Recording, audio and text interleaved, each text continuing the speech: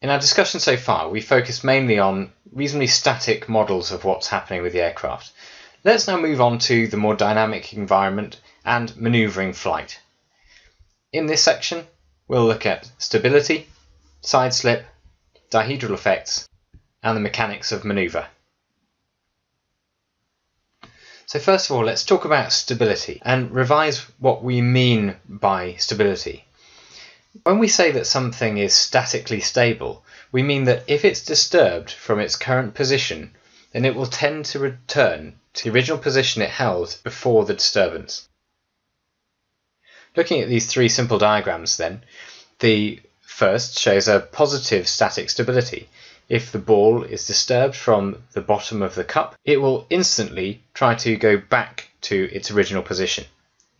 In the middle diagram, if the ball is disturbed from the top of the cup, it will become increasingly divergent, and so we say it has negative static stability.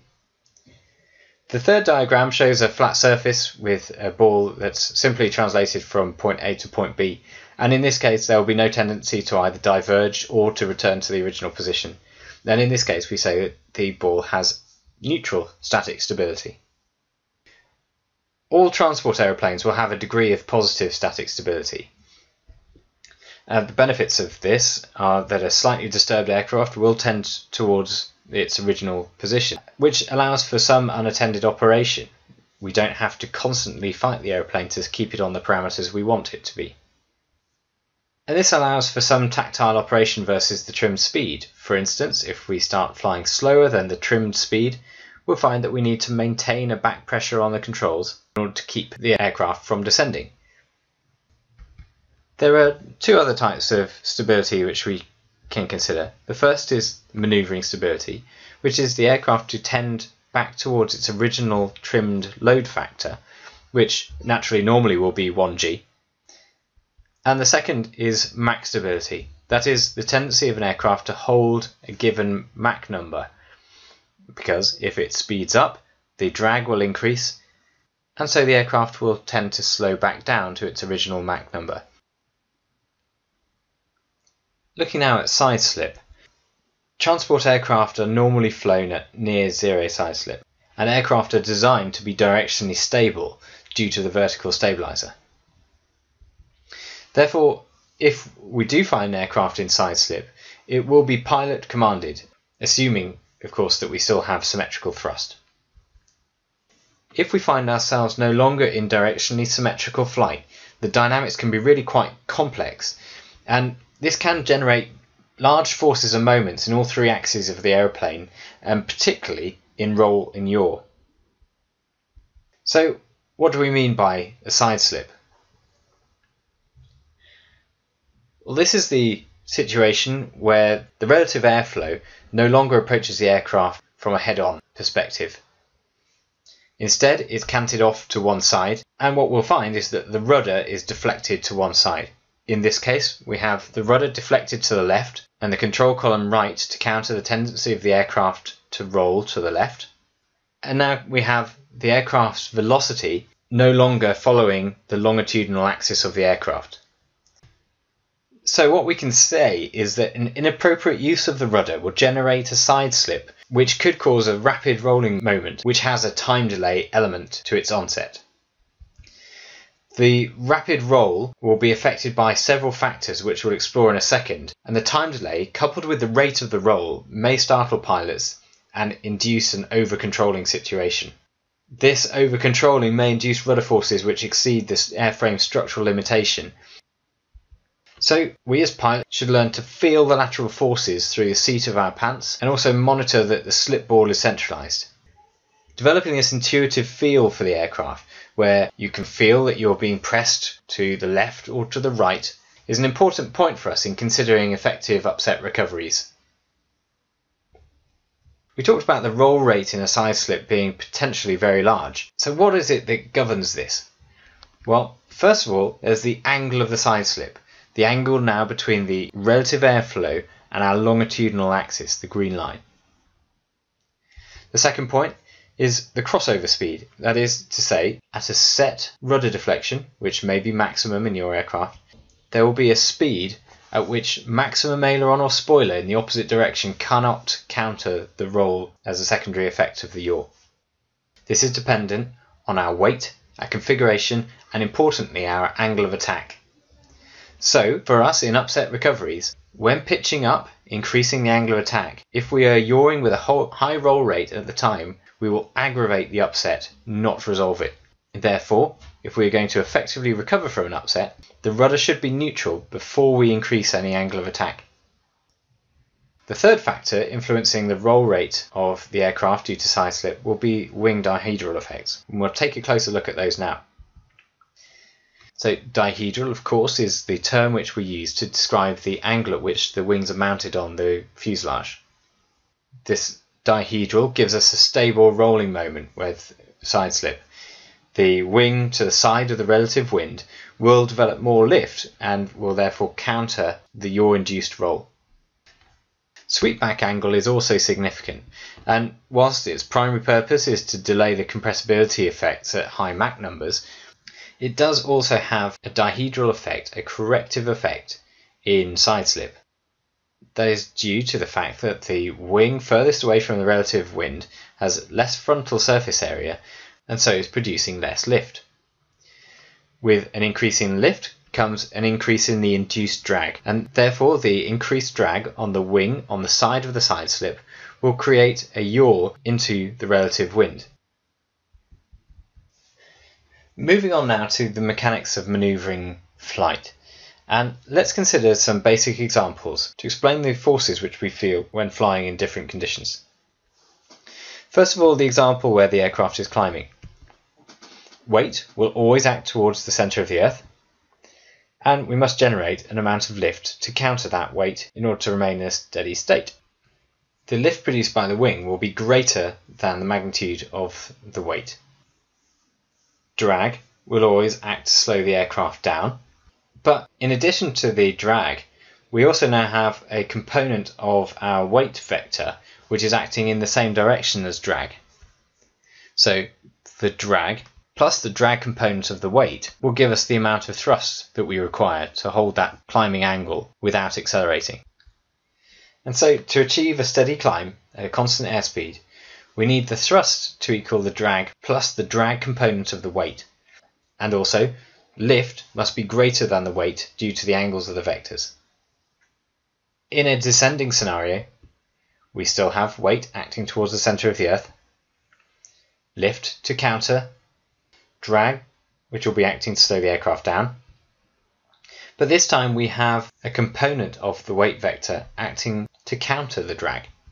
So this time the thrust that we will require will be the drag minus the thrust component of the weight. So to achieve a steady descent, we must have thrust less than drag due to the component of the weight which acts to assist the thrust. Let's now look at turning flight. In the example where we are wings level, if the aeroplane is in a steady state, then the lift will equal the weight.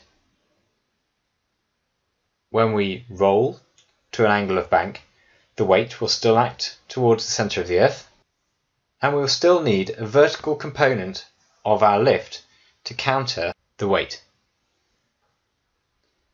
To achieve this, we will now need to increase the amount of lift that the wings are producing, and this will also give us a component of the lift which is pointing towards, if you like, the center of our turning circle. And it's this horizontal component of the lift which produces the turn because it is now giving us a resultant force which is not countered. Thinking back to Newton's first law that we looked at much earlier in this trajectory, an external force is now acting on the aircraft and is not balanced by any other force, and so we get an acceleration, in this case the acceleration being the turn. So what we can say is that lift in the second diagram is greater. We know that the wings can only produce up to a maximum quantity of lift before they reach their critical angle of attack and stall. Therefore, when we're trying to recover from an upset, it's not efficient to try to pitch the nose back to the horizon unless the wings are level. And additionally, above approximately 66 degrees angle of bank, trying to use pitch to recover the nose of the aircraft back to the horizon will very likely exceed the aircraft load factor limitations. So what can we take from this slide in summary? If we have the nose above the horizon in a climbing attitude, then to reduce the rate of speed loss, we will need to increase thrust. If we have the nose below the horizon, in order to limit the rate of acceleration, we will need to reduce thrust. And if we find that the wings of the aircraft are not level and we need to achieve a pitch up to recover the nose back to the horizon, it is not efficient to start that pitch until the wings are rolled to be parallel with the horizon, that is to say, wings level. So let's look now at how we achieve that wings level flight through our lateral control. At the risk of stating the obvious, control and roll is achieved by ailerons and spoilers. And in most modern transport aircraft, adverse yaw caused by the differential in drag between the two aileron deflections is often counted automatically. Now, remember from our control brief that we said that ailerons lose effectiveness on the downgoing wing at high angles of attack, and spoilers can lose their effectiveness beyond the stall. So, whilst it's true to say that transport aircraft need to demonstrate positive unreversed lateral control up to the point of stall, beyond the stall no generalizations can be made. And so it's critical to reduce the angle of attack at the first indication of a stall in order to preserve control. Additionally, as we saw in the last slide, it's important that we consider the direction of our lift vector in upset recovery, and we need to orientate it to be pointing above the horizon and preferably wings level before we start that pitch up in order to maximize the rate at which we can achieve the nose pitching back to the horizon, and also to make sure that we remain within the load factor limits for our aircraft. In the diagram here, you can see that with the aircraft with the red lift vector, we have an exaggerated example of why pulling to try to achieve the nose to pitch back to the horizon will simply not be effective. In the second diagram with the aircraft with an amber lift vector, we can see that we probably will achieve the nose back to the horizon by pitching up, but we're not at our most efficient. The ideal example, therefore, is the aircraft with the green lift vector, where we can use all of our maximum lift capability to achieve the nose pitching back to the horizon with a minimum height loss. Directional manoeuvring, then, is achieved by rudder. The rudder in most modern transport aircraft is exceptionally effective, and when the aircraft is symmetrical, i.e., we have no engine failures, a high rudder deflection will induce side slip with the risks that we've already seen and discussed. To prevent structural damage due to the effectiveness of the rudder, most aircraft have protections, but be aware of your own aircraft type and understand how they work. The load factors experienced by the airframe with a maximum rudder deflection at anything but, but slow speed could be enough to cause the tail of the aircraft to detach from the aircraft. Some aircraft may change the gearing of the forces that you feel according to the speed that you're currently flying and some aircraft may have a limit to the extent of rudder travel according to the speed that you're currently flying, but these may maintain the same gearing ratio, giving you the same control force for the same amount of rudder deflection. In any case, be very cautious of the application of rudder during upset recovery. Modern transport aircraft will exhibit positive static directional stability, but this comes with its own risk of Dutch roll, and so we have yaw dampers to assist with negating this negative effect. Dutch roll, for the avoidance of doubt, is where the nose of the aircraft will end up tracking through a profile that looks something like an infinity sign or a number 8 lying on its side. Dutch roll can be problematic in as much as there is a potential for it to become divergent. And so if you experience Dutch roll, have a look to see whether your automatic yaw dampers failed and the rule of thumb is that if you suspect you're in a Dutch roll situation, slow down and go down, decelerate and descend. To summarize this section, we've looked at the stability of an aircraft and revised some concepts. We've discussed side slip and the dangers associated. We've examined dihedral effects on the aircraft and how that helps to correct side slip. And we've discussed the mechanics of manoeuvring flight.